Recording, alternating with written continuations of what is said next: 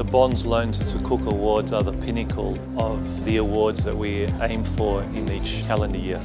These awards help us get recognised on the global stage, not just in the regional stage.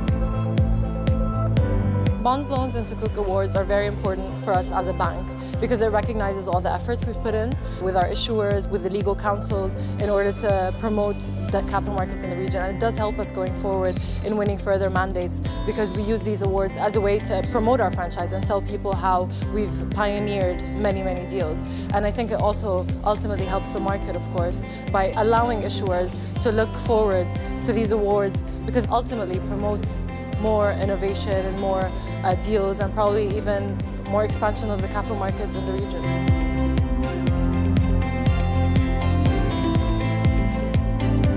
It's probably the only event that uh, brings uh, together all of the uh, big players in the market, whether they're banks, whether they're sponsors. It's an opportunity for all of us uh, to basically meet, celebrate our accomplishments over the last uh, 12 months, and I'm looking forward already for next year's awards.